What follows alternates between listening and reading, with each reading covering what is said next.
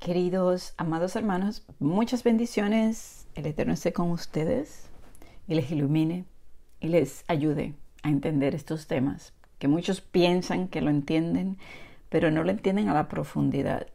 Es muy fácil para una persona que está en una religión hoy en día decir que, por ejemplo, que nosotros somos esos falsos maestros. Es muy fácil, pero si se detuvieran un minuto a meditar, a pensar, a escudriñar, entendieran realmente.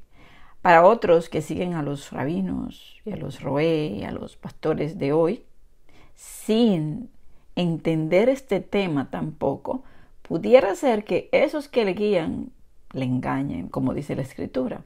Y eso es algo que no es nuevo, ha pasado siempre, pero la gente es tan seguidora de hombres, es tan seguidora de hombres y les gusta que no se detienen a pensar y no saben que hace rato que se desviaron del camino y están siendo desviados y estos temas es para ver si alguno despierta. Pero si usted se fija, desde que comenzamos a estudiar este Pedro 1, Pedro 2, la gente no, no está en el tema. La gente no lo está escuchando ni siquiera, ni lo está escuchando mucho, ni lo está compartiendo, ni tampoco lo está escuchando completo, ni están entendiendo. Pero yo siempre les digo, estos mensajes no son para una multitud grande, son para un remanente pequeñito, pequeño, quizás 10. No creo, es más, yo creo que 10 quizás son muchos. Yo sé que hay unos cuantos, unos pocos que sí escuchan porque tienen deseo de aprender, deseo de, de, de velar, de cuidarse, porque todos estos mensajes para que despertemos y que nos abran el entendimiento para ver qué está pasando hoy y preguntas que nos hacemos como las que le había dicho anteriormente y por eso dividí el tema porque es largo y déjame decirle que es sumamente largo y lo he cortado mucho.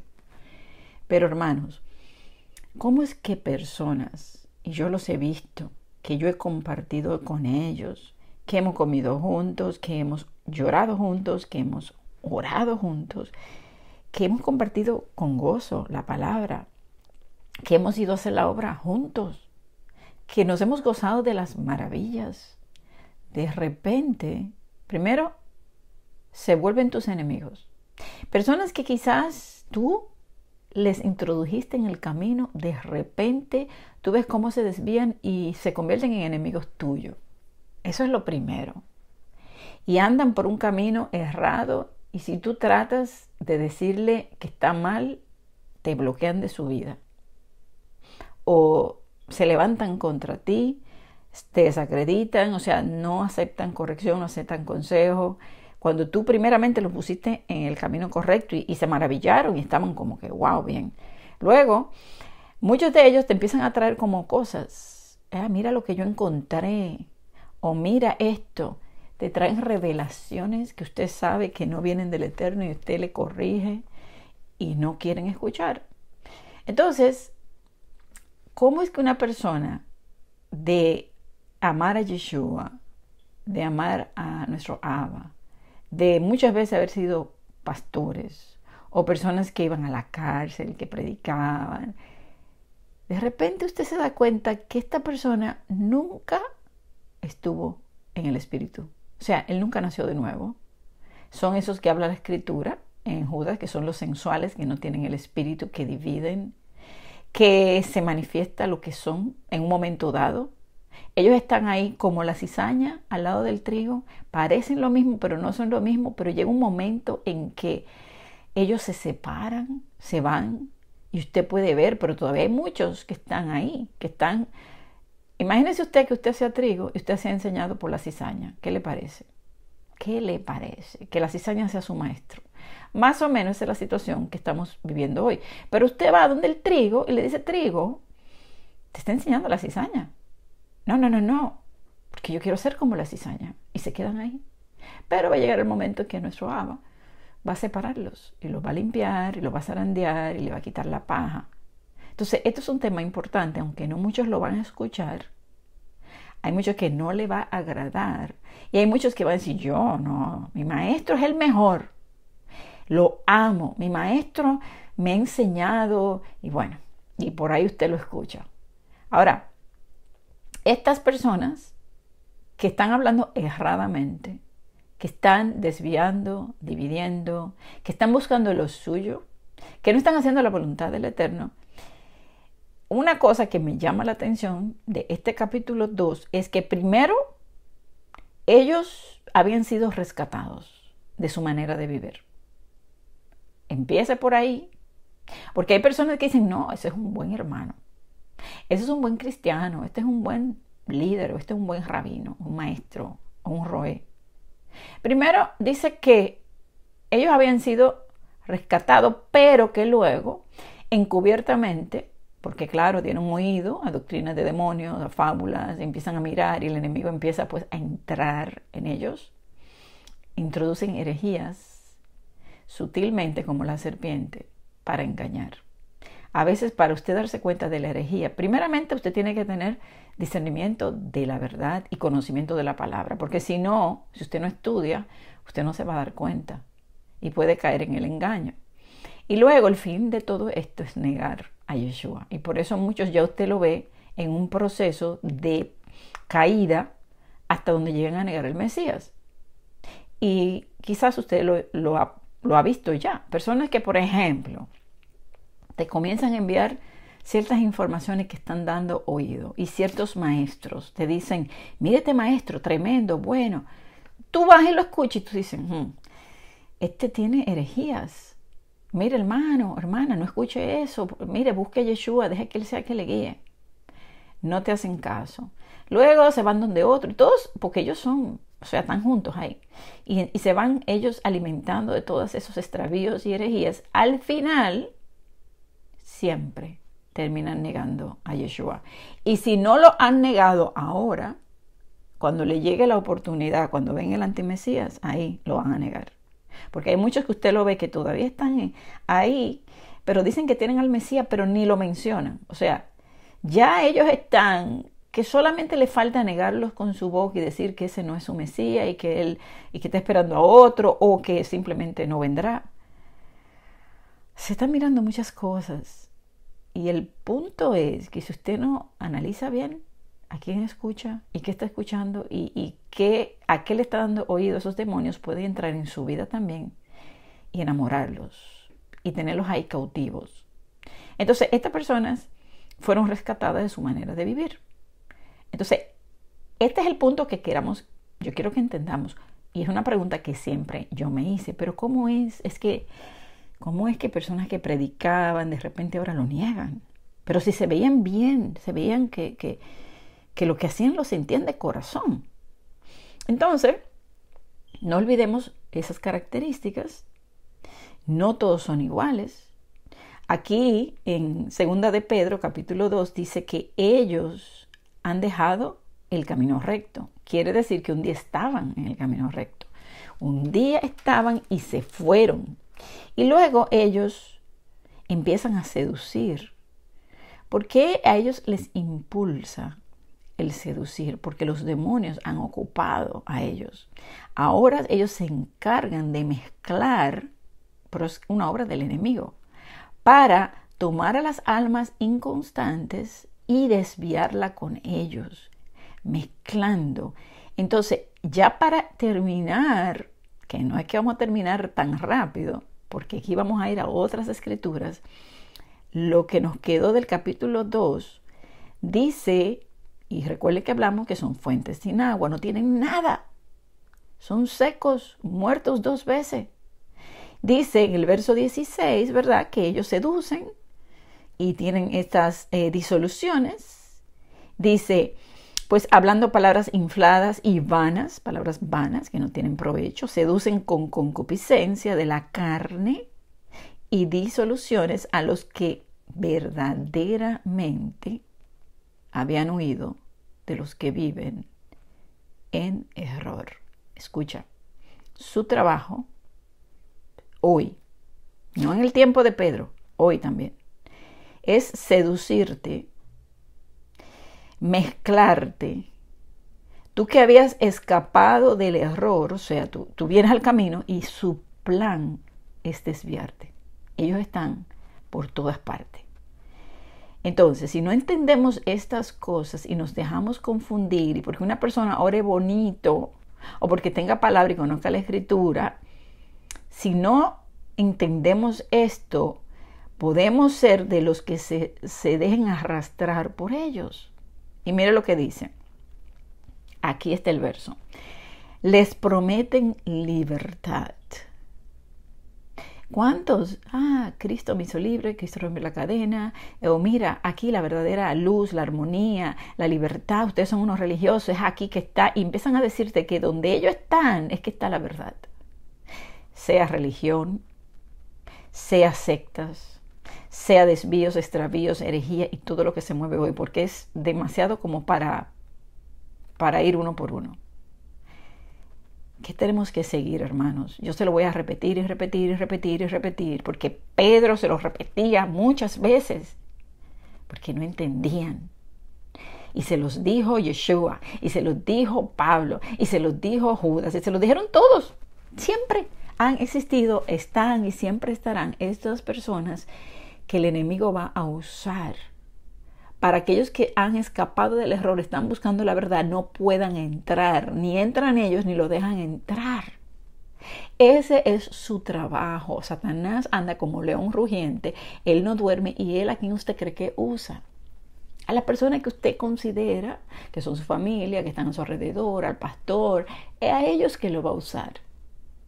Tenemos que ser astutos nosotros, mansos como palomas, astuto como la serpiente. Tenemos que llenarnos de la sabiduría de nuestro Abba para entender, para poder discernir los espíritus. Entonces, le prometen libertad, pero ellos mismos son esclavos de corrupción, su mente está corrompida. Ellos son esclavos, porque el que es vencido por alguno es hecho esclavo del que lo venció son esclavos de sus maestros y esos maestros son esclavos de otro y esos de otro. Y al final Satanás está, está detrás de todos ellos. Son esclavos, soltaron la verdad, el camino recto de aquel que los rescató, fueron participantes. Y ahí es que vamos, ¿cómo es que esta persona podían entender la verdad y de repente se van? Porque yo me lo he preguntado muchas veces. Hay veces, hermanos, y yo creo que a mí el Abba, me ha mostrado esto para yo poderlo entender y enseñar, porque yo sí que he visto todo esto. Y hay gente que me sorprende. Hay gente que yo la veo y digo, pero es que no, es que parece, pero no es. Parece, parece hijo de Elohim, pero es hijo de Satanás. Las obras de Satanás hace. Entonces, yo hay cosas que yo le digo, le voy a ser sincera, hay cosas que yo no le he podido lograr entender todavía. Hay personas que yo todavía no puedo entender, no las puedo, no, no las puedo entender. Pero el que sabe y conoce los corazones es nuestro Abba. Nosotros no estamos para juzgar a nadie, estamos para pedir al Padre que transforme a esas personas, que le abra sus ojos y yo oro por mis tantos enemigos que tengo cada día, Padre. Oro por mis enemigos. Abre sus corazones, abre sus ojos para que vean. Me tienen por enemigo de ellos. Simplemente porque usted le quiera dar un consejo, hablarle con la verdad, decirle, mira, este es el camino, estás desviándote, deja que el Elohim que te enseñe, deja, no, no te busques esos maestros, te están desviando, pero no.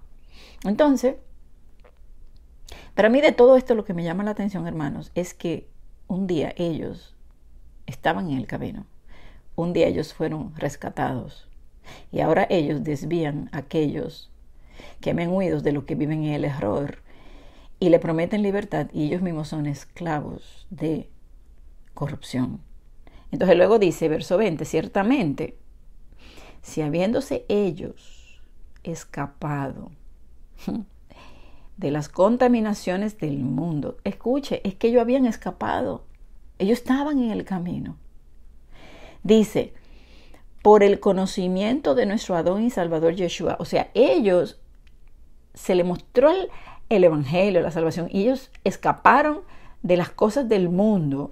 Y dice que luego de que ellos se habían escapado y luego que habían sido pues iluminados y luego que ellos habían entendido y, estaban ahí en el camino, dice que enredándose otra vez en lo que ellos, en las contaminaciones que habían dejado, dice, enredándose otra vez en ellas, son vencidos. Su postrer estado viene a ser peor que el primero. Son vencidos. ¿Y quién usted cree que está detrás de todo esto? El Satanás, el enemigo. Los arrastra. Los arrastra para que se enreden, no avancen, no conozcan, no entiendan, no sigan adelante. Y lo que hacen es que luego son esclavos de lo que lo venció, del mismo Satanás, y lo usa ahora para atraer a otros. Y su peor, su estado es peor porque son demonios que lo vienen a ocupar. Recuerden que dice que cuando un demonio sale de alguien y luego se va y luego regresa y lo encuentra limpio, entran siete. Peor es su estado, peor. Entonces, luego dice verso 21, porque mejor les hubiera sido no haber conocido el camino de la justicia. Escucha, ellos lo conocieron. Hay muchos que todavía no han negado al Mesías, pero están en ese camino. Y hay muchos que no te lo van a decir, porque el enemigo dice, no, no lo puedo hacer que niegue al Mesías. Lo tengo que llegar a desviar tanto y arrastrar a más personas antes de llegar a ese punto. Pero el punto final es negarle. Es mejor no haber conocido el camino de la justicia que después de haber conocido este camino, volverse atrás del santo mandamiento que les fue dado. Se le dio la Torah, el mandamiento, la palabra, el pacto, la salvación, se le mostró, se le enseñó. El Espíritu Santo obró en ese corazón. Lo aceptaron, dijeron, sí, este es el camino y luego se enredan y luego son pues vencidos por Satanás y Satanás y sus demonios lo ocupan para hacer su trabajo. Y entonces son hijos del enemigo haciendo su obra. Introducen herejías, mezclas para hacerlos caer. Y luego dice pero les he acontecido lo del verdadero proverbio. El perro vuelve a su vómito y la puerca, aunque la limpien, aunque la laven, se va y se revolca de nuevo en el cielo, en el lodo. Tan fuertes esas palabras, pero eso es lo que dice la escritura. Y ahí termina el capítulo 2, pero no hemos terminado. Entonces, ahora, Recuerden que ellos lo hacen encubiertamente, como una trampa. Es una trampa, hermanos. Son doctrinas de demonios. Ellos son manipulados por estos espíritus y ellos manipulan, o sea, a través de esta persona manipulan a quienes lo escuchan para atraerlos. Pedro habló, recuerden que le hablé de Judas, lo mismo, Yeshua dijo que vendrían, Pablo en varias ocasiones le advierte lo mismo. Mira lo que dice Pablo en 1 Timoteo 4.1. Pero el Espíritu dice claramente que en los postreros tiempos algunos apostatarán de la fe, escuchando espíritus engañadores y doctrinas de demonios. Ellos hacen su doctrina y son diferentes una de otra. Entonces, se desvían de la fe que un día tuvieron. Y luego empiezan ellos a escuchar. Y es que uno desvía al otro. Ciegos guía de ciego. Entonces estos ciegos guían a otros. Entonces, escuchando a estos espíritus engañadores que están en estas personas, son doctrinas de demonios. Ahora, vámonos para Hebreos capítulo 6 y verso, vamos a leer del 4 en adelante. Dice, porque es imposible que los que una vez fueron iluminados, y sabe, iluminado es que usted tiene luz, usted tiene, o sea, el Espíritu Santo le ilumina para que usted vea el camino, para que usted entienda que Yeshua es el Salvador, para que usted entienda el camino que debe andar. O sea, Una cosa es ser iluminado, ¿verdad? Por el Espíritu. Y otra cosa es ser lleno del Espíritu. Entonces, usted puede ser iluminado y entender las escrituras y predicarla y hacer la obra y hacer muchas cosas. Pero otra cosa es vivir la voluntad de nuestro Abba, entendiendo las escrituras y ser llenos de Él. Son dos cosas diferentes.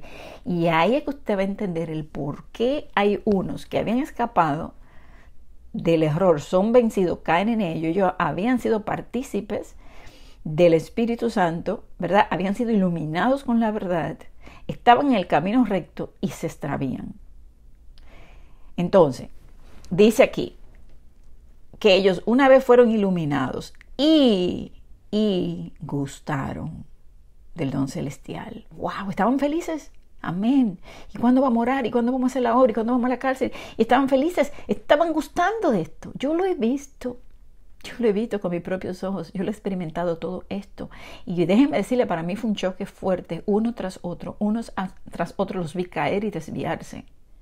Y yo al principio no entendía, y yo lloraba, y yo, le, yo, yo me recuerdo que una vez yo entré en un ayuno de tres días porque yo no podía o sea, no, es que no podía entender por qué eso me había pasado a mí. ¿Cómo es que una persona que yo caminé con esta persona por dos años y pico, que hacíamos la obra juntos, cómo es posible que no tenga el Espíritu Santo, que sea un sensual, que sea un engañador? ¿Cómo es posible eso? Eso me pasó a mí. Ahí es que yo comencé, pero no se se quedó ahí, uno tras otro, tras otro, tras otro. Y todavía estoy, estoy pasando situaciones que ese trago amargo todavía no me lo puedo tragar. Es que todavía no puedo comprender. Y creo que es algo como que Él nos está mostrando para que usted entienda que sí es posible que una persona haya sido, haya gustado del don, haya sido iluminado con la verdad, esté en el camino correcto y se aparte y se desvíe porque nunca llegaron realmente a ser llenos de su espíritu, nunca llegaron a nacer de nuevo. Entonces, dice aquí, gustaron del don celestial y fueron hechos partícipes del Espíritu Santo. Aquí no dice que fueron llenos del Espíritu Santo. Partícipes. El Espíritu Santo les habló. El Espíritu Santo sopló sobre ellos palabra para que entiendan, para que se le entiendan las escrituras. Y vamos a ir ahí, porque yo estaba ahí como diciendo, ¿qué significa esto? Porque eh, nuestro ABA es tan increíble que usted le hace preguntas, usted no tiene la respuesta en el momento, pero luego usted la encuentra. Usted estudiando otro tema encuentra la respuesta de lo que usted le preguntó. Escuche. Fueron partícipes del Espíritu Santo. Eso no quiere decir que estaban llenos del Espíritu Santo. Y asimismo gustaron de la buena palabra de Elohim y los poderes del siglo venidero. Escuche, hay gente que te dicen amén, tremendo mensaje, me gustó, le gusta la buena palabra y amén y amén. Sin embargo, ellos se vuelven del camino recto. Y dice aquí, y recayeron. O sea, recaerse, desvían del camino que se les enseñó. Volver, recaer es volver a cometer, a caer en los mismos errores, ser vencidos por lo que salieron. Salieron del error, pero son vencidos por ello. Sus comportamientos vuelven y lo toman de nuevo y vuelven atrás recaen. Entonces, aquí nos está hablando de que ellos, dice, es imposible que estos sean otra vez renovados para arrepentimiento, crucificando de nuevo para sí mismos al Hijo de Elohim y exponiéndole a vituperio. Porque empiezan, cuando hacen esto, pisotean la sangre de Yeshua. Pisotean todo lo que Él ha hecho, esa iluminación, esa oportunidad, ese toque en su corazón que hizo el Espíritu para atraerlo. Ellos lo pisan. Y luego dice que blasfeman del camino. ¿Saben cuánto están blasfemando a Yeshua hoy? Unos que una vez decían que lo amaban. Porque la tierra que bebe la lluvia que muchas veces cae sobre ella y produce hierba provechosa a aquellos por los cuales es labrada, recibe bendición de Elohim. Pero la lluvia que produce espinos y abrojos es reprobada está próxima a ser maldita, maldecida y su fin es el ser quemada. Y ya usted sabe lo que representa eso, la destrucción de los impíos. Entonces, fíjese que fueron iluminados, gustaron, fueron partícipes, le gustó la palabra. Y aquí mismo vamos a ir a Hebreos capítulo 10 y mire lo que dice el verso 26. Vamos a leer del 26 al 31. Porque si pecaremos voluntariamente, después de haber recibido el conocimiento de la verdad, ya no queda más sacrificio por los pecados. Fíjense que aquí está hablando que usted recibió el conocimiento de la verdad y que usted, no, usted continúe, usted vuelva al pecado, a lo que usted hacía, caiga, o sea, usted recibe el conocimiento. Aquí no está diciendo que usted recibió, que usted nació de nuevo, que usted nació, recibió el Espíritu Santo, sino el conocimiento de la verdad. Usted puede, usted puede recibir por el Espíritu Santo el conocimiento de la verdad. Usted puede ser iluminado, usted puede ver milagros, usted puede ver muchas cosas y eso no significa que usted sea lleno de Él, que usted haya nacido del Espíritu Santo. No quiere decir eso. Hay muchos que están ahí hoy, muchos que no quieren dejar sus doctrinas erradas y venir a la verdad para que sean limpios y purificados. Entonces, si esta persona sigue pecando voluntariamente, dice, ya no es sacrificio más por los pecados, sino una horrenda expectación de juicio, hervor de fuego que ha de devorar a los adversarios. El que viola la ley de Moisés por el testimonio de dos o tres testigos muere irremisiblemente. ¿Cuánto mayor castigo pensáis ¿qué merecerá el que pisoteara al Hijo de Elohim y tuviere por inmunda la sangre del pacto, en la cual fue santificado e hiciere afrenta al Espíritu de gracia? Entonces, el Espíritu le habla, el Espíritu le llama, el Espíritu le está dando el conocimiento, le está abriendo las escrituras. La persona de repente lo acepta, gusta, escapa del error, pero luego es vencido luego es poseído y luego empieza a empujar a otros hacia la perdición. Entonces, pues conocemos al que dijo, mi es la venganza, yo daré el pago, dice Elohim. Y otra vez, el Adón juzgará a su pueblo. Horrenda cosa es caer en manos del Elohim vivo. Ahora, ¿cómo es que nosotros podemos recibir esta iluminación del Espíritu Santo? ¿Cuántos de ustedes no conocen hoy que usted le lleva un mensaje y, lloran? Y, Amén, qué lindo, sí. Y, hasta aceptan a Yeshua y dicen que sí. Y después usted lo ve en su pecado de nuevo. ¿Cuántos? Entonces, están pecando voluntariamente. Una cosa es que usted un día pues caiga en un pecado y se arrepienta. A una cosa es que usted peque a sabienda que es pecado voluntariamente después de haber recibido el conocimiento de la verdad. Entonces, vamos a ir a Marcos capítulo 16 porque quiero que entendamos cómo una persona puede ser pues iluminada o recibir el Espíritu Santo en el sentido de recibir la palabra y el conocimiento sin haber nacido de nuevo, nacido de fuego y del Espíritu. Mire, en Marcos 16 dice en el verso 12, pero después apareció en otra forma a dos de ellos que iban de camino yendo al campo. Eso es, recuerden cuando él se le aparece en el camino de Emmaus. Y luego dice, en el verso 14, finalmente se apareció a los once mismos. Estando ellos sentados a la mesa, les reprochó su incredulidad. Ahí está, duros corazones, incredulidad.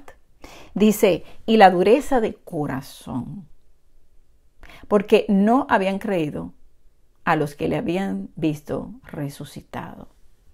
Ahora, vámonos para entender bien qué fue lo que pasó aquí, porque lo que quería que usted, lo que quería que usted escuchara es la dureza y la incredulidad de corazón. Entonces, en el capítulo eh, de Lucas, en el, en el 24, vamos a leer del 13 al 35, para ir entendiendo lo que le quiero decir. Entonces dice en el camino de Emmaus, he aquí dos de ellos iban al mismo, el mismo día a una aldea llamada Emmaus, que estaba a 60 estadios de Jerusalén, e iban hablando entre sí de todas aquellas cosas que habían acontecido. Sucedió que mientras hablaban y discutían entre sí, Yeshua mismo se acercó, caminaba con ellos, mas los ojos de ellos estaban velados, para que no les conociesen, y les dijo, ¿Qué pláticas, ¿Qué pláticas son estas que tenéis entre vosotros mientras camináis? ¿Y por qué estáis tristes? Respondiendo uno de ellos, que se llamaba Cleofas, le dijo, ¿Eres tú el único forastero en Jerusalén que no ha sabido las cosas que en ella han acontecido en estos días? Entonces les dijo, ¿qué cosas? Y ellos le dijeron, pues de Yeshua, Nazareno, que fue varón profeta, poderoso en obra y en palabra delante de Elohim y de todo el pueblo. Y cómo le entregaron los principales sacerdotes y nuestros gobernantes a sentencia de muerte y le crucificaron. Pero nosotros esperábamos que él era el que había de redimir a Israel. Escuche bien, redimir a Israel, nosotros esperábamos eso. Luego dice, y ahora, además de todo esto, hoy es ya el tercer día que esto ha acontecido. Aunque también nos ha asombrado unas mujeres de entre nosotros, las que antes del día fueron al sepulcro, y como no hallaron su cuerpo, vinieron diciendo que también habían visto visión de ángeles quienes dijeron que él vive. Y fueron algunos de los nuestros al sepulcro, y hallaron así como las mujeres habían dicho, pero a él no le vieron. Imagínese usted, todo esto acontece. Mire todo lo que ellos dos están hablando. Está hablando de gran profeta, poderoso, grande en obra, grande en palabra. Están hablando, pensábamos que era él, que iba a redimir a Israel. Eh, eh, las mujeres dijeron que resucitó, pero ellos no le están creyendo. Duros de corazón, incrédulos, porque ya él se lo había dicho.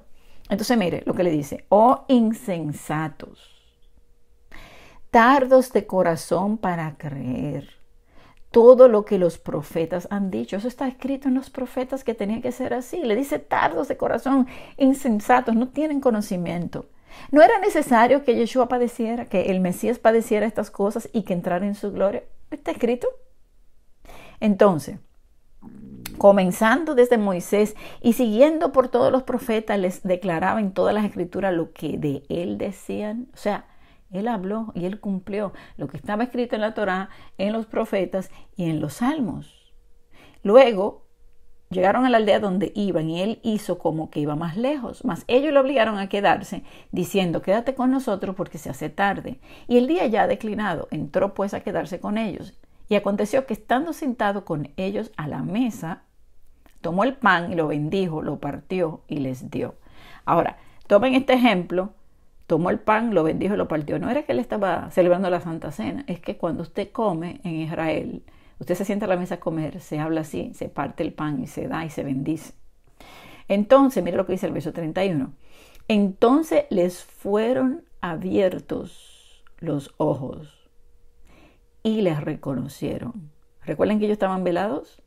Ahora le abre los ojos, les reconocen, mas él se desaparece de su vista. Y se decían uno al otro, ¿no ardía nuestro corazón en nosotros mientras nos hablaba en el camino y cuando nos abría las escrituras? ¿Está mirando? Mientras él hablaba, él estaba abriendo su corazón para que entendieran las escrituras y su corazón ardía. Estaba así como que, wow, usted le ha ardido el corazón cuando usted está estudiando y se le ha revelado la palabra por el Espíritu. ¿Y cuántos cuando le arde el corazón vienen siete es el camino? Pues eso es lo que le está diciendo. Ellos se le abrió el entendimiento, aún así permanecieron en la incredulidad. Y tuvo luego que mostrarse él para que lo vieran. ¿Por qué no creyeron? Aunque estaba escrito. Y aunque la mujer habían entrado y lo habían visto y le habían dicho, no creían. Y aún le está abriendo las escrituras. Y ellos dicen, no ardía nuestro corazón cuando se nos abrían las escrituras. Entonces luego ahí es que van donde los once. Y vamos al verso 36. Mientras aún ellos aún hablaban estas cosas, Yeshua se puso en medio de ellos y les dijo, Shalom Alejem paz a vosotros. Entonces, espantados, atemorizados, pensaban que veían un espíritu. Pero él les dijo, ¿por qué estáis turbados? Y sabe que la palabra turbado es confundidos. Y vienen a, vuestro corazón estos pensamientos. O sea, yo no se lo había dicho. No le había quedado claro. No entendieron las profecías. No entendieron las escrituras. ¿Cómo es posible?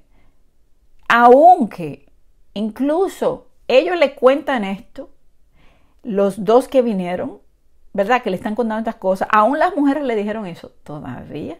Usted no. Todavía. Escucha. Le dice, ¿por qué estáis turbados?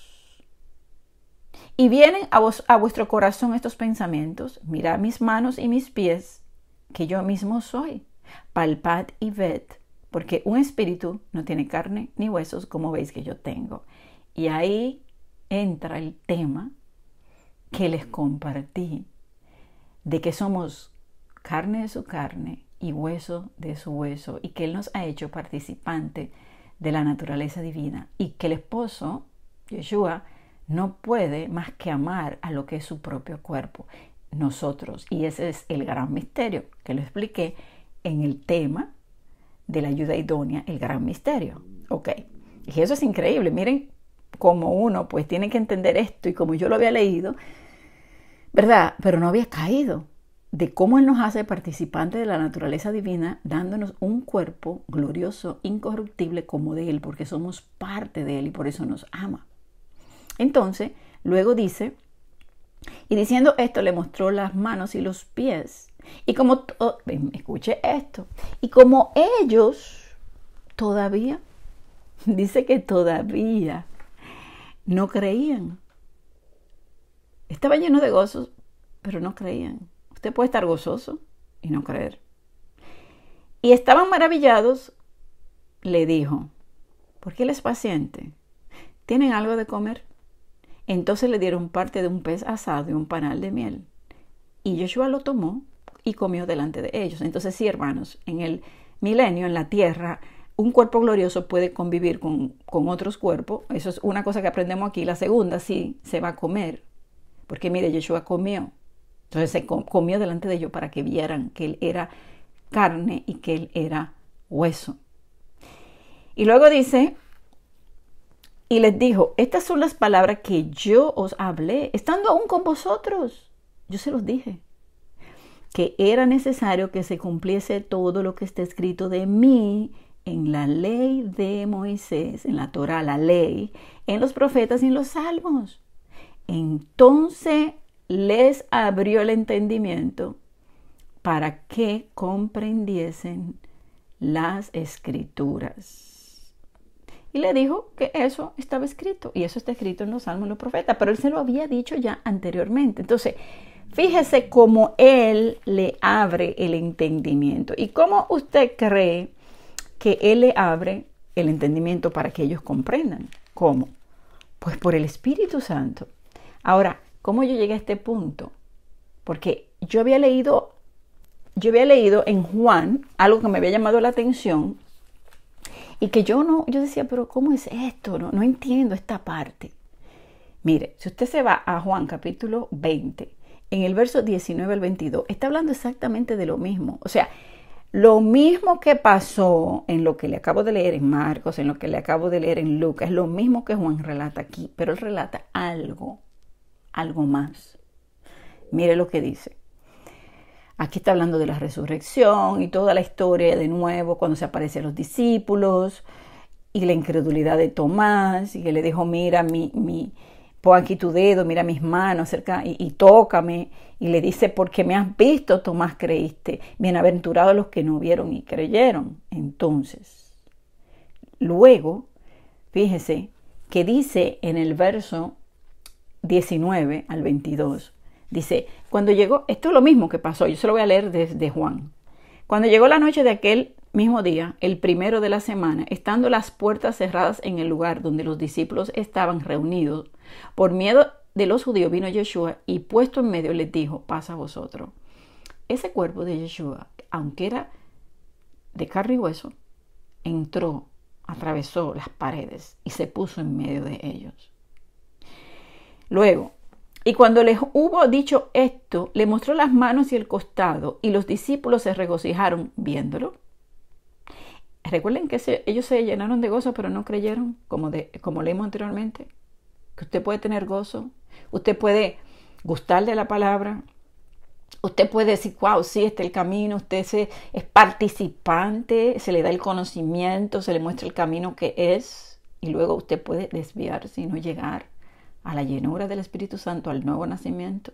Recuerden también cuando Pablo se encuentra con unos discípulos que le dice que se habían recibido el Espíritu Santo y ellos le dicen, no sabíamos que había Espíritu Santo. Entonces, ¿se puede ser discípulo sin tener el Espíritu Santo? Sí.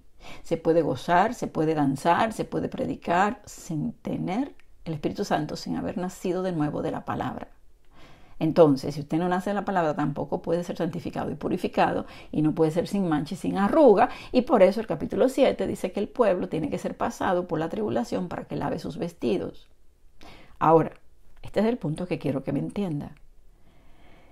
Luego dice, entonces Yeshua les dijo otra vez, Shalom Alejem, paz a vosotros, como me envió el Padre así también yo os envío. Y habiendo dicho esto, sopló y les dijo, recibid el Espíritu Santo. Ahora, hermanos, eso no lo leemos ni en Marcos, ni lo leemos en Lucas. Pero ¿fue aquí que ellos recibieron el poder del Espíritu Santo? No, sino en el Pentecostés, porque él dijo, quédense ahí hasta que reciban poder de lo alto el Espíritu Santo que vino sobre ellos en el día del Pentecostés.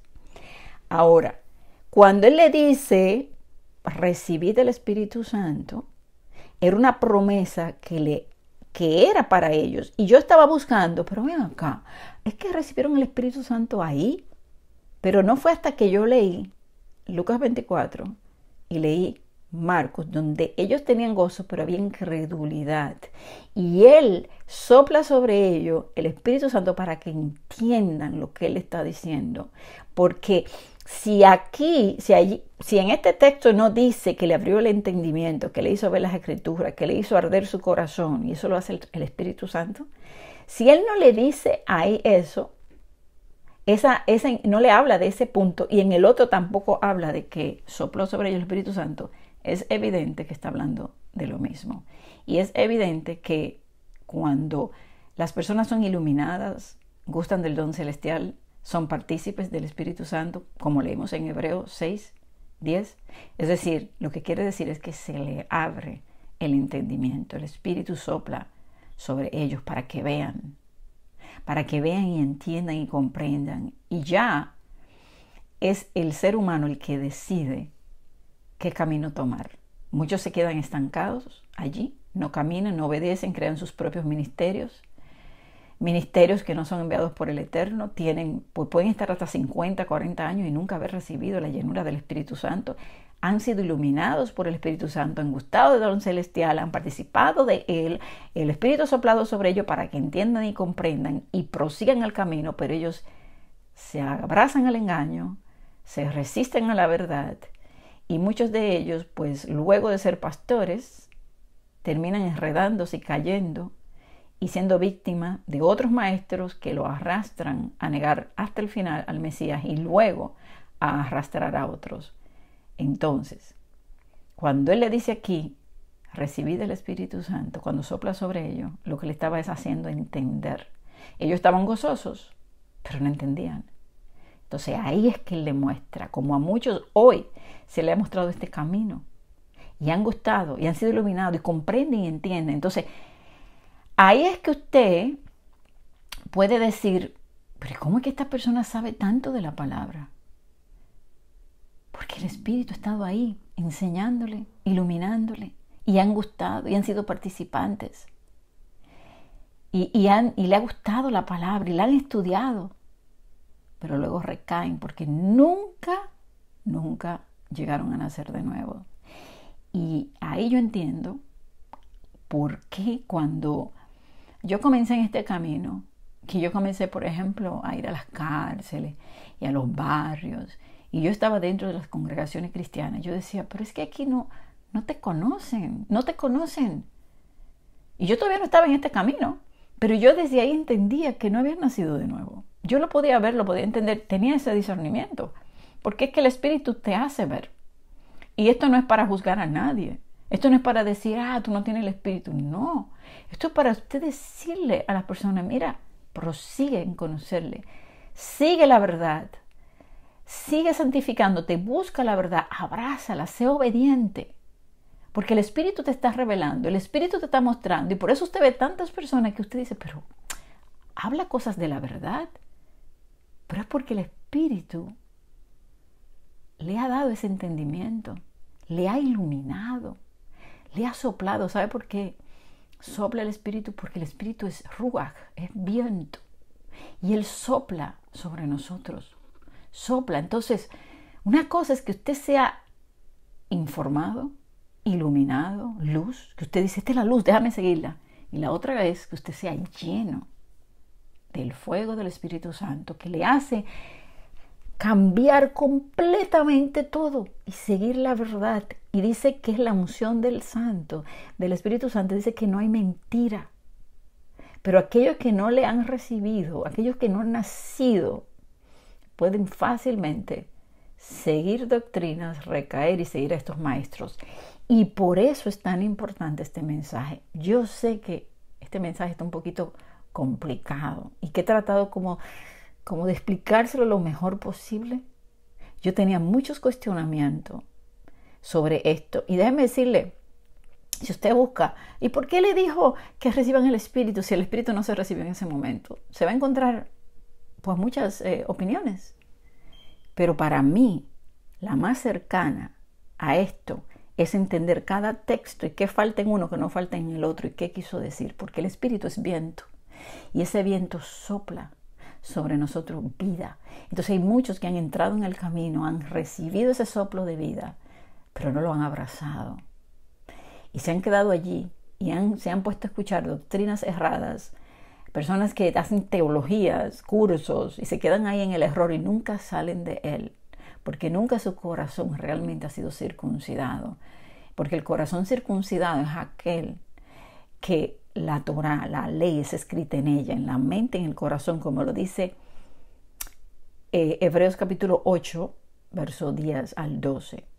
He aquí que viene un día que haré un nuevo pacto, pondré mi ley en su mente, en su corazón. Y la ley no es solamente tenerla en la boca, porque muchos dicen que la tienen y pueden guardar mandamientos, pero no, es vivirla, vivir en el amor, en la pasión, ser llenos de Él, anhelar su venida, querer ser, misericordiosos también, no estar pasando juicios, porque es que los señores, vuelvo y les repito, los religiosos no entienden la misericordia de Elohim porque no tienen el amor, no han nacido de nuevo, no lo pueden entender.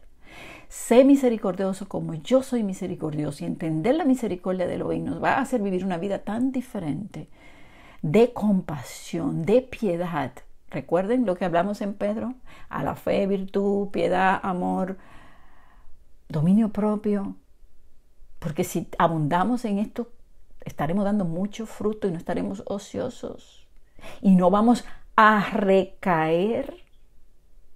Recuerden esa palabra, no vamos a recaer. Entonces, esto, esto es muy importante, porque si nos mantenemos ahí estaremos firmes y como dice capítulo 1, verso 10, por lo cual, hermanos, tanto más procura hacer firme vuestra vocación y elección, porque haciendo estas cosas no caeréis jamás.